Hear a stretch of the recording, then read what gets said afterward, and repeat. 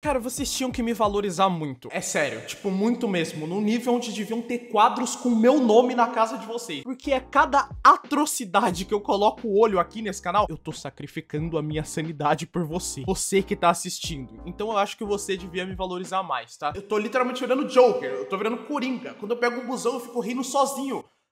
Eu tô ficando maluco. Então me agradeça por ver essas coisas e fazer resumo para que você não precise fazer o que eu fiz. Enfim, eu espero que vocês me entendam, porque não é fácil sacrificar minha sanidade desse jeito por otakus. Haha, loser. E no vídeo de hoje a gente vai falar de um anime, eu nem sei se a gente vai chamar de anime ou de coisa, chamada Hajime Te no Gal, ou My First Girlfriend is a Gal. Mas antes de contar sobre o anime, eu tenho que contar pra você o que que é Gal, né? Porque Gal você vai pensar, sei lá, gaulesa não. Mas não é a questão aqui. A questão é Gal ou Gyaru, que é tipo um estilo uma vertente da moda japonesa. São garotas que andam assim, com o cabelo pintado, meio bronzeadas, e elas ficam na rua tipo, ai, nossa, aquela garota, ela é muito piriguete. é literalmente Não foi ofensivo, tá? Um beijo para todas as guiaros do mundo. Eu amo vocês. Não foi uma ofensa, eu juro. E uma mina dessas, basicamente só faltava estar tá escrito na cabeça dela: Não gosto de nerd, né? Porque olha o estilão dela. Você acha que ela vai andar com nerdola? E o que aconteceria se um nerd, nerdola, otaku, namorasse uma mina dessas? pois é. A gente vai ver no vídeo de hoje com Hajime Tenogal, esse anime que sinceramente... Mas antes do vídeo começar, você tá vendo esse jogo lindo, maravilhoso e bom que tá na sua tela? Diferente do anime que a gente vai falar hoje. Esse jogo, ele é World of Warships e ele tá patrocinando o vídeo de hoje. É um jogo de batalha naval muito lindo que é de graça pra PC. Você quer melhor? Você quer melhor que de graça? Você quer melhor que de graça? Então espera que vai ter. Literalmente vai ter. Irmão, olha os gráficos desse jogo. Olha essa água. Olha tudo aqui. O bagulho é muito bonito, muito perfeito. É real o bagulho. O bagulho é real. Eu posso pular de cabeça no monitor pra nadar aqui, ó. Sem contar que o jogo ele tem várias classes, não é só um naviozão default estático. São navios que já existiram, tá ligado? São navios reais, é uma recriação, o bagulho é um museu. Você tem diversos navios para batalhar, destroyers, porta-avião. Até submarino, moleque. E, mano, o jogo tá sempre sendo atualizado, sempre tem algo novo para você fazer. Faz com que o jogo não fique na mesmice, irmão. Tem até Arena 12v12. Imagina só você numa arena com 24 navios naquela luta canhão pra todo lado. Tá maluco? Isso já puxa pra uma das melhores coisas do jogo, né? Né? Que você pode jogar com ou sem seus amigos. Então não é aquele jogo que você precisa de alguém para jogar e tal. Ele é opcional. Já que todo mundo aqui é otaku sem amigos. Mano, tem pra console também. Então você aí sem PC tá incluso. Pode deixar. Mas você lembra que eu te falei que tinha algo melhor do que de graça? Então, amigo, se registrando e baixando o jogo pelo link da descrição e usando o código BRAVO, você ganha um pacote de brindes muito grande. Sério. 500 dobrões, 1 milhão e meio de créditos, 7 dias de conta premium e ainda pode escolher entre muitos navios. O SS Fênix japonês Kuma, que é o que você vai escolher, né, Otaku? Encoraçado Dante Alighieri, HMS Wakeful. E, né, depois de completar 15 batalhas. Lembrando que é só pra novos usuários, ah, mas tá ligado, né? É só fazer aquela continha, aquelas coisas. E é isso, mano, o link tá na descrição, o que, que você quer mais, o jogo já te deu tudo. E obrigado, World of Warships, por patrocinar esse vídeo. Link na descrição e no comentário fixado. Tchau, vamos pro anime ruim. Ok, o anime se passa na vida do Junichi, que tá chegando na escola, num novo semestre, vão ter turmas novas, ele vai conhecer pessoas novas, um novo novo recomeço. Porra nenhuma. O moleque já tá vendo um monte de casalzinho e já se desespera porque ele é simplesmente um nerdola virjola e olha a aura que o humano emite ao ver casais felizes. É o mais puro suco da inveja, meu amigo. Então, quando ele chega na sala, a gente já vê a lata, a lata dos amigos dele, e a gente já sabe que não vai rolar namorado naquele ano, filho. E aí os manos de novo já vem que tá todo mundo na sala deles namorando e um deles começa a chorar. É, mano, ser otaku não é fácil. É basicamente abdicar da felicidade da sua vida pra ver uns desenhos japoneses. Mas enfim, eu vou apresentar para vocês o Esquadrão Nerdola. Basicamente é o Junichi, protagonista, o Shinpei, o de cabelo azul e de óculos, o Keigo, que é o louro Tokyo Revenger, é o Mike do Tokyo Revenger, sei lá, só conheço esse. E o Minoru, que é o personagem mais ridículo que você vai ver nesse anime. Enfim, depois do drama de chorar por ser nerdola e não ter como voltar atrás no tempo, o Junichi pergunta pro Keigo se ele fez algo nas férias e o Keigo basicamente manda um: Tu acha que eu fiz alguma porra, meu filho? No máximo eu namorei todas as minas 2D da Steam. E o Minoru também fala que não fez nada, bando de vagabundo. E ele também disse que se arrepende de não ter feito nada, que ele queria ter conhecido umas meninas do fundamental. Pai, alô, polícia. E o Junichi também não fez nada nas férias, porque eles são tudo igual. Então ele começa a entrar numa crise existencial, porque ele nunca namorou, nunca teve nada e já tá no segundo ano do ensino médio. Por que eu ainda sou virgem? Esse tipo de questionamento para na cabeça do homem moderno. É porque o homem moderno é um primata que só pensa em sexo. E aí então, depois disso, brota do nada uma mina que, com todo respeito, possui duas jabulanes no lugar do sei, chamando o Junichi de Onichan. É, pois é do nada. Eu tô falando aqui por cima do vídeo, esse sou eu depois de terminar de gravar o vídeo. Essa não é a primeira vez que vocês vão ver eu coringando, ou pelo menos dando indícios de coringar. E o nome dessa mina é Nenê. Aí a Nenê vai lá dar uma marmita pro protagonista, já que ele esqueceu. Daí ele diz que ela ainda parece uma criança, só que tá no ensino médio, enfim, foda. Daí a mina vai embora e os abutres vulgo manos do cara chegam e perguntam: Pô, e essa mina aí, mano? Vai botar pra jogo, não? Daí ele fala que é só uma vizinha de quando ele era criança, que não é nada demais, que ela é como uma irmã pra ele. E os amigos dele ficam tipo, Pô, vai botar pra jogo não, caralho? Daí ele fala, pô, amigos, ela é mó criancinha. Daí eles, porra, vai botar pra jogo ou não? É, e é, o próprio Junichi, ele tenta ligar pra polícia. Porque os amigos dele estavam idealizando a mina como a Loli das gigantes Glândulas mamárias. Vocês têm que me amar muito depois de assistir um anime desses, é sério. Vocês, vocês têm que me amar muito. E aí, então depois vai aparecer outra mina lá pra falar com o Junichi. O cara conhece todas as mulheres do mundo, pelo visto. Que é sempre assim, né? O anime vende o cara como um nerdola. E a gente vai ver ele conhece Todas, todas as minas do mundo. E provavelmente elas vão se apaixonar por ele, né? Óbvio. Junichi é um fodão. Na verdade, ele é um nerdola, não faz sentido. Mas os amigos dele não brisaram nessa mina porque ela não tinha tempo. Os caras só pensam com a cabeça de baixo, né? Isso se confirma logo depois quando os manos só pegam e começam a ler umas revistas mais 18 no meio da sala. Todo mundo olha pra eles como se eles fossem as criaturas mais deploráveis da face da Terra, né? Até porque eles são. E eles fazem isso de propósito, só pra estragar o clima dos casaizinhos da escola. E até o Junichi fica tipo, puta, mano, porque eu sou amigo desses caras. Mas aí o Shinpei tá com uma revista na mão do Junichi, fo... Só que o animal deixa a revista cair no chão. E quando ele abaixa pra pegar, uma mina pisa na revista e mete logo um apavoro nele, chamando ele de nojento e os caralho. Ele fica mais na pura merda, é sério. Ele, ele só fica na merda. E no final da aula, tá lá os amigos dele apaixonados pela mina que só faltou cagar na cabeça deles, tá ligado? Porque a mina ter xingado o Junichi de nojento foi o máximo de afeto que ele pôde receber de uma mulher na vida dele. E aí então eles convencem o Junichi a pedir ela em namoro, falando tipo, Irmão, tu vai deixar de ser virgão. basicamente foi só falar isso que ele acreditou nisso e foi pedir ela em namoro. Não precisou de muita coisa. Só precisou falar de sexo. Só que aí, né, mano, os caras bolaram um plano lá, né? Eles fizeram uma carta de amor, colocaram no armário dela, ela viu a cartinha, deu fuga na amiga dela e foi lá ver quem era o cabá. Chegando lá, os dois, o Junichi tava mais travado que um baforador de loló. E daí ele lembra que o amigo dele falou que ele tinha que ajoelhar e pedir por favor. Ele fez isso e a mina ficou tipo, Caralho, esse moleque é um fracassado. então ele entra em várias crises existenciais, tipo, Caralho, eu tô me ajoelhando por mulher.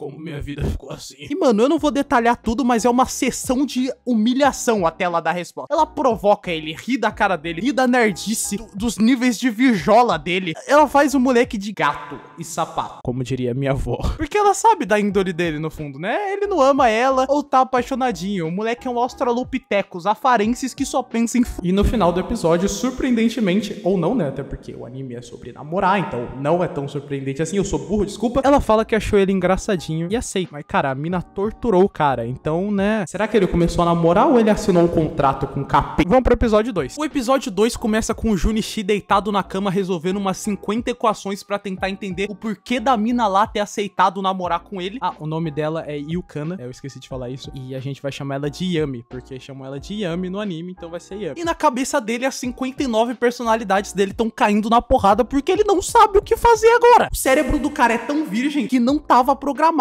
pra namorar. Pra tu ver, o cara começa a namorar e ele começa a ter transtorno de personalidade. As personalidades dele estão brigando só porque ele entrou em contato com uma fêmea. Muito bom que as personalidades dele são o paranoico, o virgem maluco e o homem calcinha. Daí então ele tá indo lá pra escola todo melancólico, achando que na verdade a Yukana pregou uma pegadinha do Everson Olhos nele, que eles nem estão namorando de verdade, que é melhor até ele evitar ela, porque tipo, porra, mó lerdão, tá ligado? Eu sou plebe, a mina é da alta realeza. Como? Como? Só que no caminho da escola ele tromba com os amigos dele, né? E como os amigos dele sabem que ele é um exímio virjola igual a eles, os amigos dele estavam tristes já sem nem saber se a mina aceitou ou não. Clima de luto, pedindo desculpas até por ter feito ele pedir a mina em namoro. Eles já estão indo aceitando que o Junichi foi humilhado. E aí então o Junichi decidiu entrar na deles, né? Começou a falar que tomou um fora, que deu errado. E os amigos dele estavam tipo, A gente sempre vai te apoiar, irmão. Nós sempre estaremos aqui por você. quando do nada ele recebe uma selfie da mina no zap zap zap. E aí os amigos dele mudam completamente de comportamento. É, é sério, é sério. Os manos já não querem o Junichi por perto. Ele é um cara que namora. Ele é muito popular pra andar com eles. Toda a pena se reduz a raiva, a ódio, só de ver uma selfie da gostosa no zap zap. Daí então o Shinpei pergunta pra ele se ele já beijou a Yami. O Junichi fala que não, né? Até porque ele é nerdola, virjola, tudo de ruim nesse mundo. Não sabe se tá namorando com a mina de verdade. E a gente está falando de Japão, onde as pessoas nem andam de mão dada na rua direita. E aí então o Shinpei, super machista opressor, fala que as minas do estilo Guiaro, no caso da Yami, né, são muito fáceis e dão beijos como se fosse um oi, tudo bem. Então se ele não beijou ela ainda é porque ele é um merda. Então ele dá a brilhante ideia de levar a mina num karaokê. Porque segundo ele, os karaokês são o paraíso da putaria. Principalmente pra adolescente que é tudo fodido e sem dinheiro e cheio de vontade de... Porque lá no Japão os karaokês são divididos em mini quartos, né? Daí você aluga e fica num quartinho com a pessoa. Aí basicamente o Shinpei pensou, tipo, eita bicho, kkkk, cess. Então ele explica pro Junichi que existem três passos pra acontecer no karaokê antes de...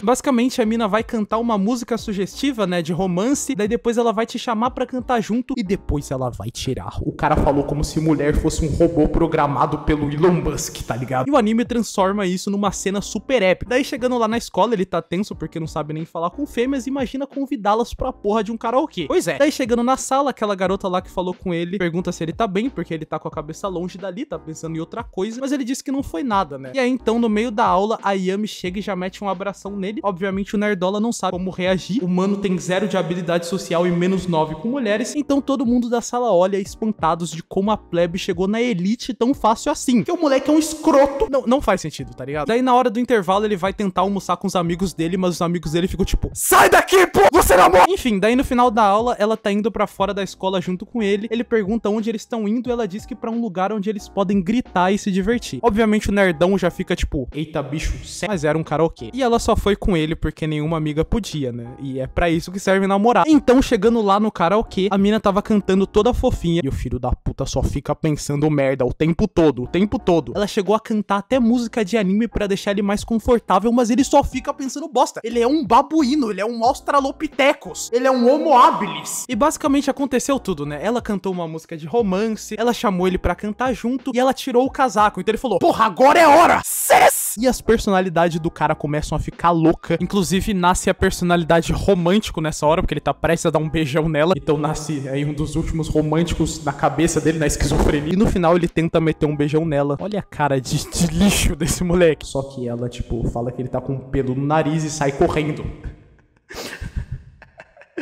Cara, e também o pelo no nariz mais empatador de foda do mundo. E no final de tudo a gente descobre que ela também é timidazinha, por mais que seja uma guiaro e tal. Pois é, as aparências enganam. Mas enfim, depois de uma tardezinha fofa deles cantandinho, todo fofinhos, eles vão embora ali do karaokê. E no final do episódio aparece uma mina olhando para eles e stalkeando pra caralho. Quem será? Quem será? É óbvio que o anime vai construir a porra de um harém. É óbvio, é óbvio, é óbvio. Eu tô eu vou virar o Coringa. O episódio 3 se inicia com o evento mais lendário possível para um assíduo nerdola como nosso protagonista Junichi, e é basicamente receber uma carta de amor. Justamente pelo motivo de dois pontos. Quem caralho se apaixonaria por um moleque desse? Mas é, mano, pra tu ver que o efeito namoro existe. Você começa a namorar e pronto. Você tem duas mil mulheres ao seu dispor. Só no anime, tá? Não acho que isso vai acontecer com você. Você é nerd, você é otaku, você nunca vai namorar. Tá bom? Inscrito do Kitsi. Você pertence ao Kitsi, a mim, e mais ninguém. Porra, tu nunca vai namorar. E aí depois, ao ver o Junichi recebendo a carta, os amigos dele só choram em prantos, porque não é comigo. E o Minoru fica se perguntando se ele deve mandar uma cartinha pra uma mina do fundamental. Para! Para! Para com essa piada! Enfim, mudando de assunto, pelo amor de Deus, eles encorajam o Junichi a pelo menos ir falar com quem mandou, né? Porque se ele ignorasse, ele ia ser mó escroto. Por mais que ele namore. Mas enfim, né? Eu não entendo os jovens japoneses. Porque aqui no Brasil, basicamente, as mulheres executam qualquer outra que chegar a pelo menos 200 metros de sua propriedade privada chamada namorada. E aí, chegando lá pra ver quem é a Felizarda que ele vai chutar fora, é a mina mais intimidadora que ele já viu. O moleque fica na merda. A mina alugou um apartamento na cabeça do moleque. Então ela meio que começa a provocar ele muito tipo, muito, a um ponto que ela chega a tá cheirando o moleque e pelo cheiro ela sabe que ele é virgem. Parece que todo mundo nesse anime é um animal do sexo. Só que então, nessa provocação que ela tá fazendo com ele, as coisas começam a ficar mais intensas, digamos assim. E a Yami, por coincidência do universo dos animes, estava passando por ali e ia eventualmente vê-los em posições não muito agradáveis. Então a Yami chega, vê a cena e manda um. Tá dando em cima do meu namorado, filho da puta? E as duas são amigas e começam a rir. Meninas que assistem esse canal, me digam se a amizade entre mulheres funciona assim. E elas são amigas, amigas até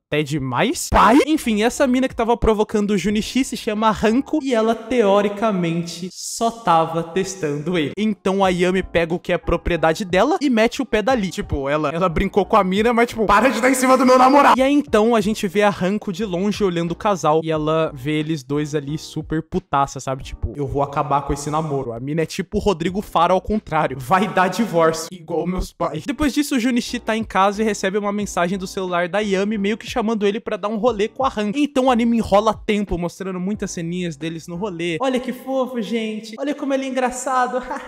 e tem até uma parte desse episódio que prova que o Junichi é um primário, onde basicamente eles estão numa loja de roupa, as minas estão ali experimentando roupa, a Yami tá toda fofinha perguntando para ele como as roupas estão nela, mas o moleque só fica pensando merda, olha a cara do arrombado. O cara fica preso na putaria propriamente num nível em que ele esquece que tá namorando e não é capaz de falar que a namorada tá linda. Daí depois de agir igual um cabal, eles saem dali da loja sem comprar nada, aparece uns mano escroto na rua dando em cima das minas. É sério, é tudo muito repentino nesse anime. A minha sanidade tá acabando, é tipo do nada, tome, aí do nada, tome mulher, aí, do nada, tome mano escroto da rua. O bagulho só é ruim, tá ligado? E mano, não é o etizão, tá ligado? Tipo, até porque eu já assisti outros animes que tem eti assim, e eu juro que não foi só pelo eti, parece, eu não vão acreditar em mim, né? Mas tipo, eu juro que não foi. Sei lá, tipo, Shokugeki no Somon, tipo, todo mundo fica sem roupa quando faz um prato de comida muito bom.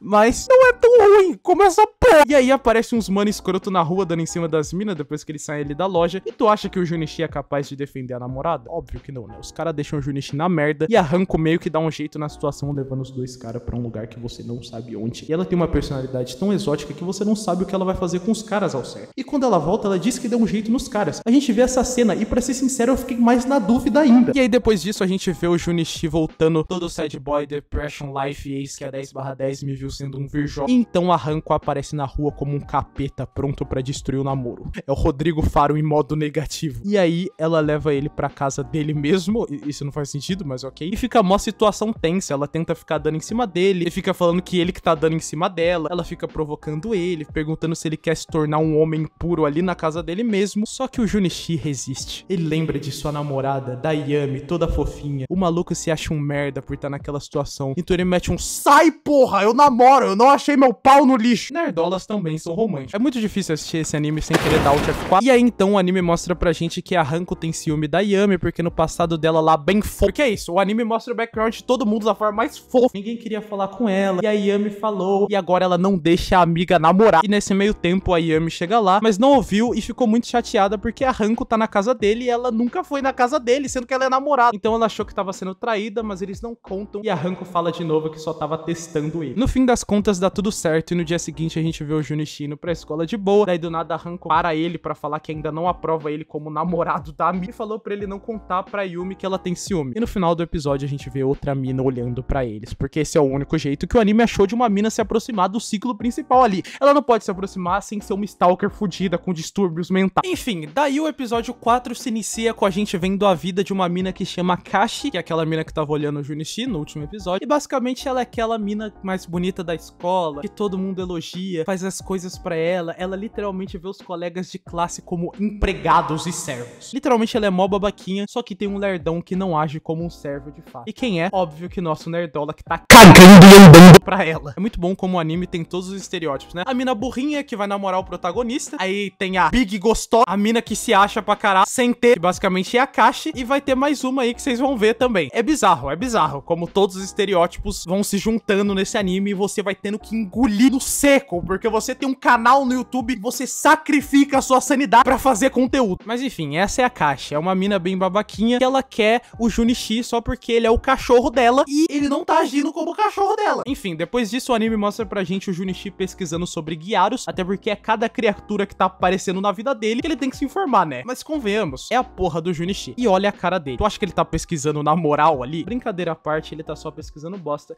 e acaba caindo na live live de uma mina e até comenta. A aura de nerd não some do cara. Enfim, depois disso na escola o anime mostra pra gente a Kashi chegando e aquela coisa, né? Todo mundo dando bom dia pra ela, babando o ovo. Se ela tivesse um ovo e tirasse uma foto. Tá, eu não sei porque eu falei isso quando eu tava gravando, não vou continuar. Mas quem é o único que não dá bom dia pra ela? Exatamente, o nosso querido Virgem, que vai cumprimentar seus amigos virgens. E ela claramente já fica incomodada com isso. E lá com os amigos dele, o Shinpei fala que o mano loiro, que eu esqueci o nome, foda-se, viu uma mina na net e ela é muito, muito, muito linda. Então ele mostra a mina e os moleques vão à loucura. Tirando esse mano que tem um gosto mais peculiar, né? 190, por favor. E o Junichi que tá casado nem achou a mina tudo isso. E, tipo, também já tinha visto ela na live, né? Então, meio que nerdola romântico, foda-se. Mas sério, os moleques começam a endeusar a mina. E o Shinpei até fala que lembra dela de algum lugar, mas não sabe ao certo onde. Enfim, aí depois dessa parte da aula, a gente vê o Junichi muito nervoso porque ele tá almoçando com a Yami. E como o moleque é um exímio primata, um babu, esse moleque não tem escrúpulos. Então ele começa a imaginar ela dando comida na boquinha dele e esquece da realidade de novo. Mas isso nunca vai acontecer porque arranca o maior empata-foto ali almoçando junto com eles. Então no meio do almoço dos mano ali do nada, chega aquela mina Kashi falando que tem um negócio para falar com o Junichi, perguntando se ele tem um instante. Oxe, filha, que porra é? Mas a Hanko já manda ela meter o pé da forma mais cria possível. E a mina não tem muito o que fazer porque ela só vai embora. Ela ficou muito puta, olha a cara dela, ela tem um plano. E daí a ficou perguntando se o Junichi não tinha nenhum rolo com essa mina aí. E a Yumi toda borrinha, fofinha ali, sem entender nada. Gostosa e burra, a mulher ideal para o homem de 2022. Só que a Hanko ficou ali meio de olho na mina, né? Porque ela sentiu que nesse galho, tem macaco nesse galho, eu não sei o ditado. Desculpa. Depois dessa aula, a Yumi, ela vai embora sem o Junichi e ele fica todo tristinho, ela vai sair com umas amigas dela. Ela até dá um tchauzinho pra ele, chama ele de cachorro, mas de uma forma fofa. E logo atrás dele já aparece o capeta, falando que um professor pediu pra ela entregar uns materiais e que quer a ajuda dele. Logo mais nerd, fraco, fudido, passando fome, virjola da sala, né? Isso faz sentido pra vocês? Não, mas ele aceita, né? Até porque é só pegar uns materiais, foda-se. Quando ele vê, ele tá num café. Amigo, você não percebeu que vocês saíram da escola?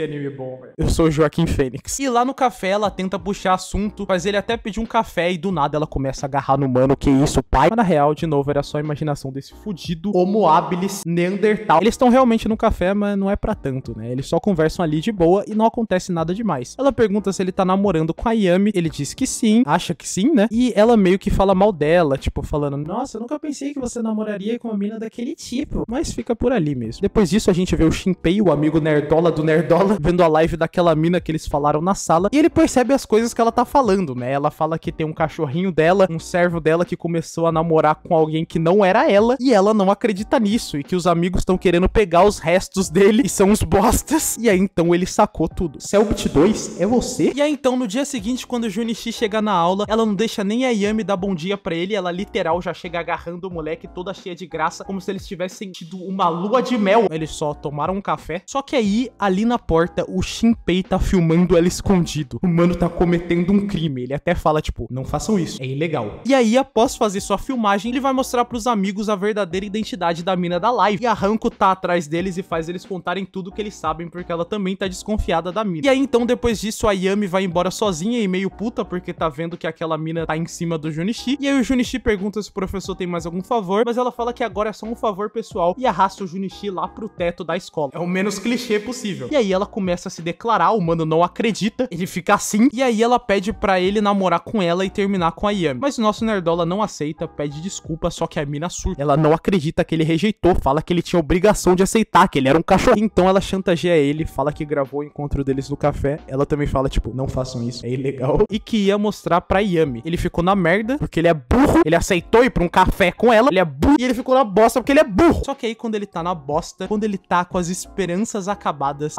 aparecem os casas dele e a gostosa. E eles chantageiam a mina de volta porque sabem dos negócios das lives, né? Então a Hanko só chega no ouvido dela e fala: Ó, oh, tô sabendo dos teus bagulho aí, né? Então ela só fica na merda, toda fodida e vai embora, né? E né, porra, imagina se ser descoberto por ser youtuber ou fazer live. Tá! Vocês acham que eu me orgulho disso aqui? O Junichi não sabe de nada, né, das lives, mas tipo, ela só fica na bosta e vai embora. E depois da chantagem em cima de chantagem, o Junichi ele vai embora com a Yami ali toda borrinha sem saber de nada o que aconteceu. E ele pergunta se ela tá chateada. Ela diz que não ficou nem preocupada com a outra mina porque ela sabe que o Junichi tá todo boiolinha por ela. É muito bom ter um caba na sua mão, né? Porque tipo, sabe, ele não vai ficar com outra mina. Então, tipo, tudo tem que ter ciúme. O cara é um bo... Enfim, o episódio 5 começa com o Junichi tendo aqueles sonhos totalmente impuros e pecaminosos com a Yami, até que no sonho ele vai colocar a mão em um um certo lugar e quando ele vê, tem uma mina em cima dele no quarto dele. Não tem ninguém normal, ninguém saudável nesse anime. Não tem.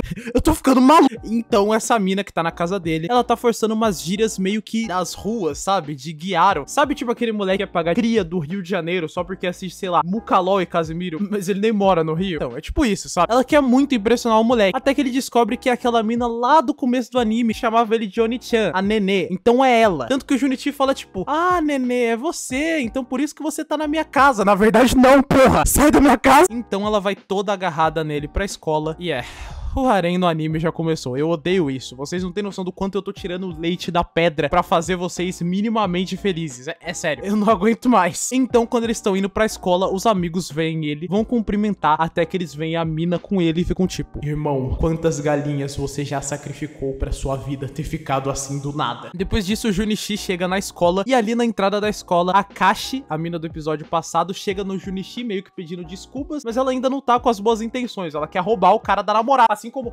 todas as minas. Se, tipo, não querem roubar ele da namorada, querem roubar a namorada dele, sabe? É tipo isso. Só que aí a Nenê, Nenê, sei lá, Nenê, ela chega e começa a esculachar a mina. E quando a gente vê, tem duas gostosas brigando por um nerdola. E agora, parabéns, o anime firmou já todos os estereótipos. O nerd fudido, sem personalidade, a namorada dele burra, a big gostosa alternativa, a gostosa sem muito corpo, e tsundere, né? E a gostosa jovial com exacerbadas esferas do dragão de Namikusei no corpo. E que chama o protagonista de Oni-chan. Meu Deus, eu quero morrer. É isso, já juntou todos os estereótipos. Então, depois de de ter a briga das minas lá, tipo, a caixa ela sai meio puta, dá um pisão no pé do Junichi. Enfim, quando chega na hora da aula, o Junichi ele já tá chupado. Eu não sei se é uma boa palavra para usar em um anime como esse, mas você entendeu, né? O cara gastou toda a energia vital só nessa manhã, né? Tanto que a Yami vai falar com ele, mas o maluco tá em outro planeta. Ela dá um abraço nele e mais uma vez os amigos dele ficam olhando para ele com a sensação de filho da puta. Inclusive o Shinpei fala pro mano que tem gostos peculiares que um dia em breve ele vai se encontrar com a polícia. Depois dele mostrar isso. Sinceramente, eu não tenho nem o que que comentar. Foi a coisa mais ridícula que eu vi nesse anime. Eu não sei mais porque eu tô assistindo isso. Caralho, eu queria, eu queria tanto mudar de profissão agora. Na verdade, eu não tenho profissão. Depois dali, eles estão comendo fofinhos e todo o cenário de almoço romântico que o Junichi imaginou com a Yami lá de comida na boquinha é quebrado após o mano simplesmente ter comida roubada pela mina e um pão enfiado na boca. Totalmente romântico. E aí eles estão comendo a comida deles ali de boa, até que aquela mina lá, irmãzinha do Junichi, ela chega metendo uma lambida na cara dele e oferecendo um biscoitinho em formato de coração coração. A Yami, como é burra pra caralho, vai se apresentar toda amigável pra mina. Ela não percebeu que é sobre um embate feminino por macho. E o Junichi já tá todo desesperado, tipo... Aqui acaba meu namoro. E eu provavelmente não vou arrumar outro. E a mina começa a xingar a Yami pra caralho. Falando que ela só namora o Junichi até achar alguém melhor. Porque o Junichi é um bo... Até o Junichi fica tipo... Porra, também não precisa. E aí, então, depois disso, as minas começam a entrar numa guerra de e depois disso, a Nenê começa a xingar as minas e sair correndo. Cara, o que que eu tô assistindo? Beleza, depois disso, o Junichi tá lá deitadão, pensando se a mina ficou bem, né? Porque ela só saiu correndo. E aí, ele tá, tipo, pronto pra ir dormir, ele cai no sono. E a partir de agora, eu não posso mostrar nada, porque digamos que a mina aparece da forma que veio ao mundo. Pois é, é, então. E aí, então, as personalidades do homem começam a sair na porrada, porque uma delas tá tipo, é agora, pô! E a outra tá tipo, só com a nossa namorada. Apenas faremos isso com a mulher mulher que nós amamos. E aí, então, consequentemente, após a porrada que acontece entre suas múltiplas personalidades, o nosso querido Junichi decide conservar a pureza em seu corpo. E não é dessa vez que ele vai consumar o ar. Daí depois mostra o passado deles dois ali, ai, foda E no final, obviamente, a mina não desistiu dele, né? Tipo, mesmo que ele negou ela ali ali ela não desistiu dele, porque ele é o fodão, né? Então eles estão lá na escola, e aí então a Yami abraça o namorado dela, né? A propriedade dela. E aí chega outra mina, a Nenê, e fala que vai fazer o Junichi ser dela. É muito bom que o anime vendeu o cara como repelente de mulher e do nada todo mundo quer dar. Enfim, daí começando o episódio 6, simplesmente o Junichi vai pra escola tudo normal, né? De boa. E aí então os amigos bosta desse moleque bosta vão lá e perguntam se ele já avançou algum passo com a namorada, porque ele é um merda. E óbvio que não. O maluco não deu um beijo, não foi na casa da mina, nunca ficou ficou de mão dada, não fez nada. Então eles falam que ele tem que jogar o jogo do rei. Mas com uma condição. Ele tem que ir na casa da Yukana e chamar os amigos dele e as minas. Já viu, né? Já viu o caralho, né? Ninguém vai beijar ninguém. Porque eles são um bando de nerdola do cara. Quer dizer, na verdade tem beijo. Enfim, eu,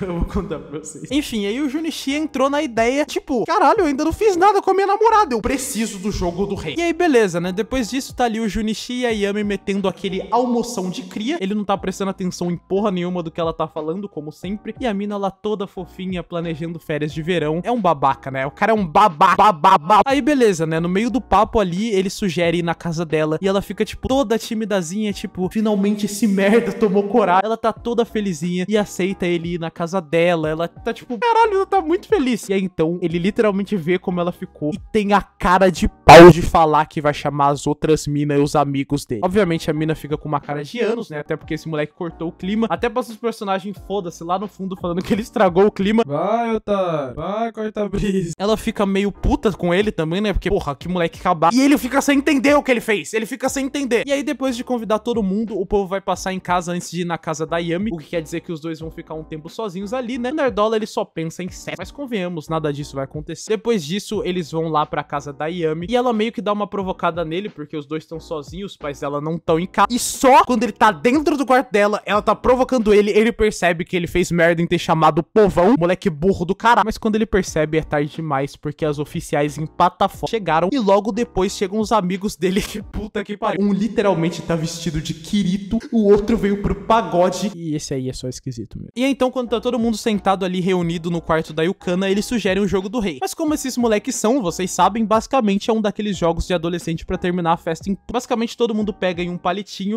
Ah, gente, não é no micropênis de ninguém, viu? E quem pegar o palitinho do rei pode dar uma ordem absoluta do tipo, né? Ai, número 1 um faz isso com o número 2. Ai, o número 5 faz isso. E assim vai. E as minas já entenderam que aquele era um jogo focado na e decidiram entrar pra tentar algum contato com o Junichi, porque o Junichi é o fodão, e arrancam pra tentar algum contato com a Yami, né? Beleza. Daí a rapaziada vai brincando ali, de boa, tal, todo mundo feliz, todo mundo fofinho. Só que os moleques estão na maldade. Então eles têm todo um plano, eles estão roubando pra caralho. Sério, eles estão tipo, estão tipo se comunicando, eles estão eles estão levando a sério o jogo, porque é a única vez que eles vão ter contato com fêmeas no jogo do rei, então eles têm que aproveitar o máximo. E aí na cartada final do Kirito paraguaio, ele vai fazer o Junichi e a Yami se beijar. E ele também vai fazer ele e outra garota se beijarem. Só que o Junichi, ele por algum motivo acha injusto ele beijar a própria namorada dele. Vocês estão ouvindo, né? Namorada dele em um jogo. E acha injusto o amigo beijar ali outra mina que ele rejeitou, porque ele rejeitou todas. Irmão, você é beta! Você é beta! Então ele manipula os palitinhos e faz os amigos se beijarem e ele beija o Kirito do Paraguai de língua. Porque ele confundiu os palitinhos, o Kirito vira o rei, dá a ordem e... Puta que pariu, irmão. Você é beta. E gay também, pelo visto, né? Você preferiu beijar o seu amigo de língua do que sua namorada. E no final, a Yami vê que ele fez isso pra salvar as minas. Ela até agradece ali, o que também não faz sentido, já que ela queria tanto que ele fosse pra casa dela. Mas agora,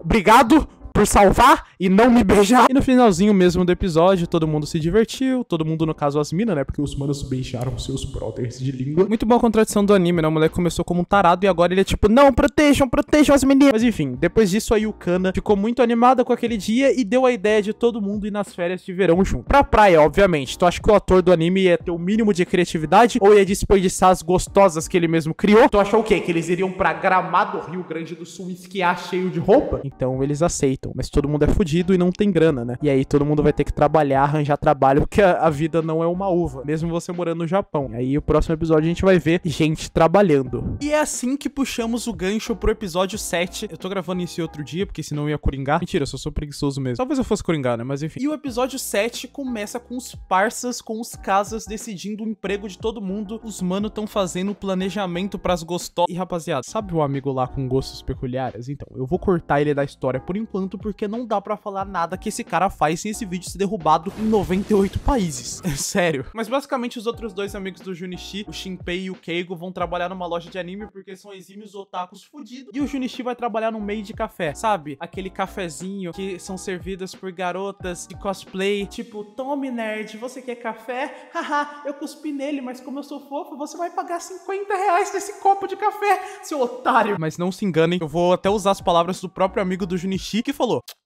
Tu acha que alguém quer te ver de cosplay, Tom merda? Tu vai trabalhar na chapa, filha da puta. Enfim, e daí o anime mostra pra gente os amigos do Junichi indo na loja de anime, achando que vai ser trampo fácil. Ai não, porque eu vou abraçar action figure. Mas o maluco botou eles pra trabalhar igual dois cavalos. Os mano voltam pra casa mancando. E o Junichi, quando chega no meio de café, é óbvio, óbvio, que ele vai trabalhar onde todas as gostosas estão, né? Óbvio. O moleque tem um detector de metal, mas na real é de gostoso. Enfim, e o resto do episódio mostra todo mundo trabalhando lá, as minas no café animando a vida dos nerds. E tipo, isso que é nerd de verdade, nem é o Junichi. Olha a lata. E lá tem nerd de todos os tipos, eles ficam animados com qualquer interação das minas. É, tem uns mais estranhos, e a mina mata ele. E, inclusive, nesse meio de café, o gerente ali delas é um cara com gostos peculiares, eu diria, né? Cada dia as minas estão num cosplay diferente, e inclusive ele é, tipo, literalmente um personagem de Gintama. Olha esse cara, ele é literalmente o Madao de Gintama. É foda, né? Gintama acabou, não tá dando mais dinheiro, tem que fazer bico, né? Enfim, enquanto isso, lá no trabalho dos otaku, o Shinpei, ele tá, tipo, dando muito duro no trabalho. Tipo, muito mesmo. Ele tá fazendo tudo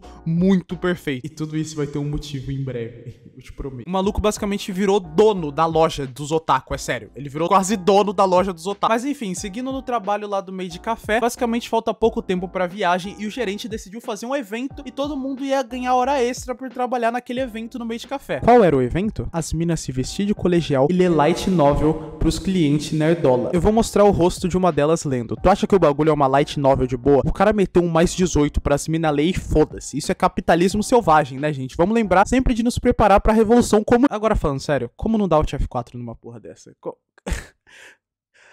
E daí dá mó treta lá, né? Porque, tipo, é um bagulho totalmente criminoso. E o Junichi vai lá e finalmente se mostra um alfa. E briga com o cara lá, o gerente, né? Meu irmão, tu tá mandando as minas ler putaria. E a Kashi também liga pro dono do meio de café e fala que tem um tarado trabalhando. E daí eles meio que fodem o evento, não vai rolar leitura de SES, mas eles vão ganhar hora extra. Revolta do proletariado aí. E daí depois, no final do episódio, tem uma ceninha fofa do Junichi e a Yami deles voltando juntos. Daí ela falando que a viagem vai ser legal. Mas mesmo sabendo que eles vão com todo mundo, ela pede pra eles fazerem algo sozinhos lá, pra ficarem a sós. Opa, você quer dizer E agora partindo pro episódio 8, meu filho. O episódio 8 é o episódio de praia. E o que você espera de um episódio de praia de um anime como esse? Tome distribuição de glúteos e glândulas mamárias, os quais não podemos mostrar aqui. Mas eu vou te falar, cara, imagina todos os estereótipos de praia, então, amigo, é isso que temos. Ele tímido vendo a namorada de biquíni. Ai, brincadeira de jogar água. Ai, todo mundo querendo a atenção do protagonista. Ai, os nerds olhando debaixo do guarda-sol. Ai, construir castelinho de areia. Ah, passar creme nas gostosas. Ai, espetinho. E é óbvio que outra mina vai dar espeto pro Junichi além da namorada dele, porque ele é o pi. E depois disso, obviamente, não pode faltar, né, as águas termais. E sinceramente, eu não entendo o japonês. O bicho passa o dia todo na praia, sono igual um porco pra no fim e tomar banho quente. Não sei se é porque eu moro no Bostil, mas isso não existe por essas terras. Sem contar que sauna é um bagulho ridículo. Não sei quem romantizou, falou que isso era bom, sério. Se vocês já entraram numa sauna, vocês sabem. É só ruim. É horrível. E se lembra que o Shinpei lá tava dando o máximo no trabalho dele? Tipo, ele tava quase virando dono da loja Otaku? Então, como mais um clichê de praia, vai rolar espionagem, né? Não podia faltar, né? Em todo episódio de praia tem que ter isso. Um anime que tem homens e mulheres no mesmo campo astral. E ele roubou da loja Otaku um cosplay militar super realista pros caras espiarem as minas nas termas. Tipo, com direito à visão noturna e os caras. E os mano vão no naipe exército americano, Operação Brother Sun. Obviamente o Junichi não quer, ele acha injusto, só falta ele querer ver os amigos dele tomando banho também, né? Então eles vão numa cena épica de caças gostosas. O Junichi trai eles, eles atiram no Junichi, correm atrás do Junichi, o Junichi morre e o anime torna uma cena muito épica com direito a parceiros morrendo, choro. E tudo isso era porque o dono da pousada colocou um monte de armadilha pros moleque igual eles não irem espiar as minas. No final termina todo mundo fudido, o Junichi caído no meio da praia e tem uma ceninha fofa com a Yami, né? E o Junichi conversando sobre um lugar que só os dois possam ir, já que não rolou nessa viagem. E as outras minas ficam lá mordendo as costas, né? E no que esse episódio adicionou na história? Nada. E agora a gente vai pra reta final do anime e todo esse anime que eu contei pra vocês, pra no episódio 9 e 10 o Junichi ser corno. O mano literalmente é corno. E quem assistiu o anime, ai, Kids, ele nem foi corno. Foda-se, eu só aceito um final onde esse moleque foi corno, porque ele claramente foi corno. Basicamente apareceu um cara que era amigo da Yami no Fundamental, e aí ele é mó bonitão e nosso Nerdola ficou com ciúme. E os amigos dele, pra consolar ele, obviamente chamaram ele de corno. É isso que amigo faz, ele só te foda. E aí tem todo um draminha, né? Ele e a Yami brigam por causa de ciúmes e tal, e aí ele vê a Yami sozinha com um cara de tarde, num café, tá ligado? Depois dela ter falado pra ele que ia num encontro com os amigos do Fundamental. Cor sim, Junichi. O Junichi, ele vira o pó, ele fica só o pó, literalmente. E aí, obviamente, o cara que era amigo da Yami é um babaca, porque, literalmente, né, o cara que a Yami conhece, que é mais bonito, mais foda, mais legal que o Junichi, ele tem que ser um babaca. Mas a mina que chega lambendo o rosto dele, não, ela é legal e vai ficar o anime inteiro, né? Tem porradaria, né, porque os nerds também conseguem bater tudo na gangue. E no final fica tudo bem, né, ele pede desculpas pra ela, ele pede desculpas pro ser corno, e pra amenizar a cornice dele, porque ele claramente foi corno nesse final do anime, ela leva ele no parque da diversão e dá um beijo nele. Ele passa uma tarde fofinha lá e ela dá um beijo nele. E é isso que o corno merece, né? Um beijo depois de namorar por sete anos. Que é assim que no Japão funciona. Você merece um beijo e um parque de diversão. Mas o outro cara, meu filho. Enfim, o foda é que o anime faz você ficar com raiva dela até, tipo, sendo que o anime todo é as minas tudo dando em cima dele, né? Enfim, é corno, nada me tira isso da minha cabeça. Final mais que justo. Por que eu assisti isso? Eu não sei, eu literalmente não sei. Eu não sei o que eu tô fazendo. Tô sacrificando minha sanidade por views no YouTube. Ai, mas Kitty, a adaptação do anime ficou muito ruim. Eu, eu recomendo você ler o mangá. Eu quero, eu quero que você. Tchau.